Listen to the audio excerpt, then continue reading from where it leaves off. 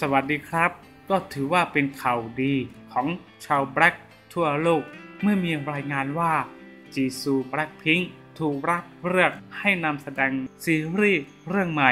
ชื่ออย่างไม่เป็นทางการที่กำลังจะพิจารณาเพื่อออกอากาศทางช่อง JTBC และทาง YG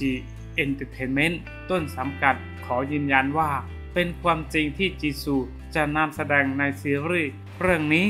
จะเป็นผลงานการเขียนบทของ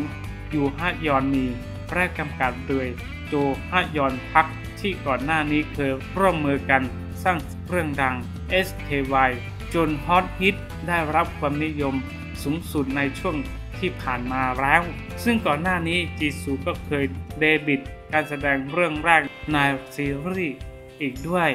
และในฐานะนักแสดงรับเชิญ ซึ่งรับบทเป็นรักแรกของตัวละครที่ซุงจูกิในละคร ซึ่งงานนี้แฟนๆ ก็ต้องรอลุ้นและส่งกำลังใจการแบบรัวๆ ให้กับผลงานการแสดงบทนางเอกเรื่องแรกของจีซู จะออกมาดีแค่ไหน และที่สำคัญ ใครจะโชคดีที่จะได้เป็นพระเอกคนแรกของจีซูกันอีกด้วยนะครับ